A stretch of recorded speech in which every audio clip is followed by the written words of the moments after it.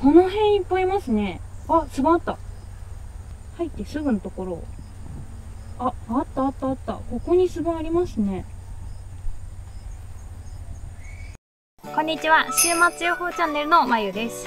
今回は、このエンドスコープ、マイクロスコープを紹介したいと思います。このエンドスコープはニホンミツバチの巣箱の中や野生のニホンミツバチの巣の中を覗いてみようと思って Amazon で購入したものですではちょっと開けてみましょう。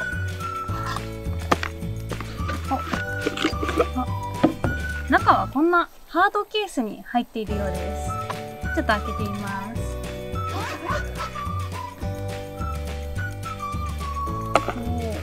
あこれがカメラの部分ですね。かなり長そうなコードですね。おおこんな感じになっています。この先っぽがカメラになっていますね。この直径は 8.8mm のようです。でこのコードなんですがたわんだり緩んだりしないようにかなり芯が通っていますね。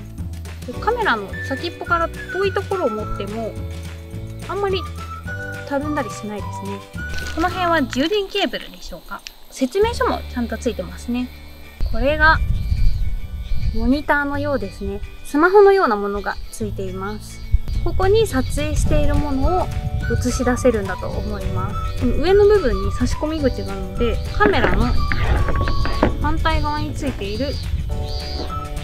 ここに刺すと。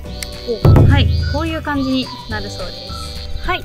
それではこのエンドスコープを使って今日は野生のミツバチの巣を覗きに行きたいと思います。週末予報チャンネル。はい自然巣がある場所に到着しました。ではこちらです。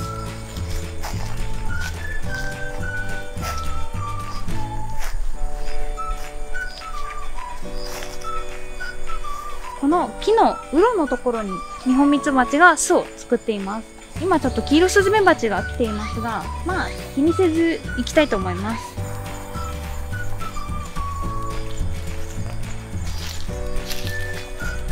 じゃあこのマイクロスコープを録画モードにして撮影を開始します。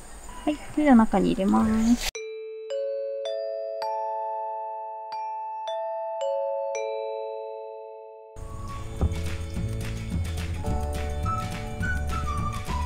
お。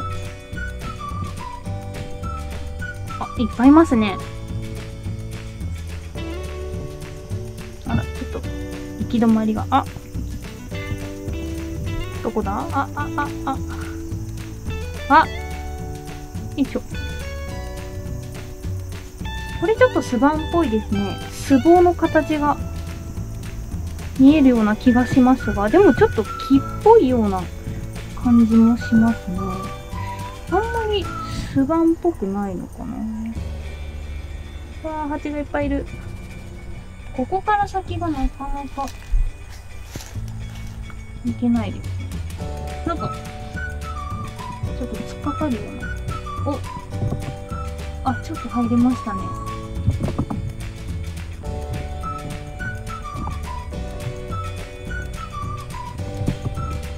大丈夫かな？グリグリグリグリいこうえー、でもこんなに種は大きくないのかな？なんかこの辺が巣板っぽくなってるような気がするけどなん。か巣板らしくもあんまりないんだよね大きいまあ中広くて上側にどこにあんだ巣板があったりとかあの下側に、まあ、下はあんまないか。あったりとかするかな。あこの辺いっぱいいますね。あつばあった。入ってすぐのところ。ああったあったあった。ここに巣板ありますねこれ巣板ですね。入り口からほんと数十センチのところに巣板ができています。あ。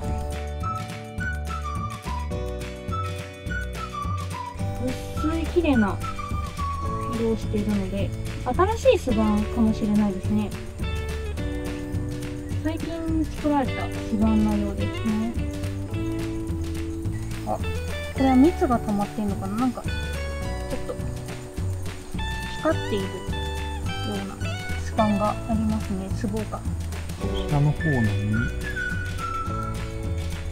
ちょっと光ってて蜜のように見えますね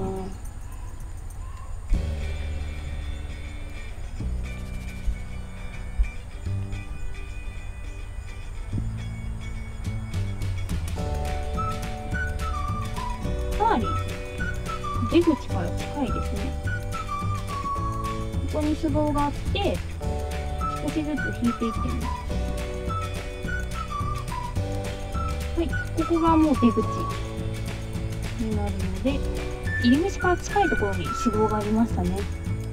こっち側はちなみに？あ、こっち側にも脂肪ありますね。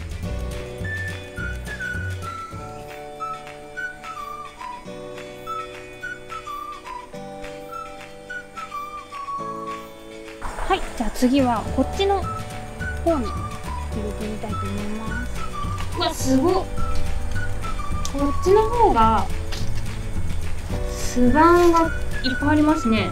今ここで見えるので、もう1枚、2枚、奥に1枚あるから、4枚ぐらいありますね、巣板が。この辺に、たくさん集まってる、ちょっと端がね、このマイクロスコープを敵だと、外敵だと思って、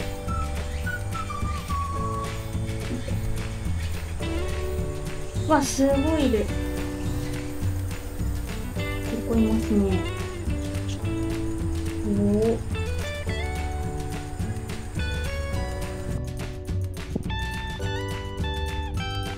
はいエンドスコープで自然巣の中を撮ってきました結構いい感じに撮れたんじゃないかなと思いますこのエンドスコープを使ってみた感想ですが思ったより画質もいいしすごく扱いやすいなと思いました。週末 UFO の巣箱は底板を外すと下から覗けるようになっているんですが下から覗くことができない巣箱を使っている方はこのエンドスコープをスムーンから入れてみて中を覗いてみてもいいと思いますしあともし自然数が近くにあればこれで覗いてみても楽しいと思います。はい最後までご視聴ありがとうございました。このチャンネルではニホンミツバチのいろいろなことを紹介しています。この動画がもし面白かったらチャンネル登録やいいねボタンを押していただけるととても嬉しいです。それではまたお会いしましょう。さようなら。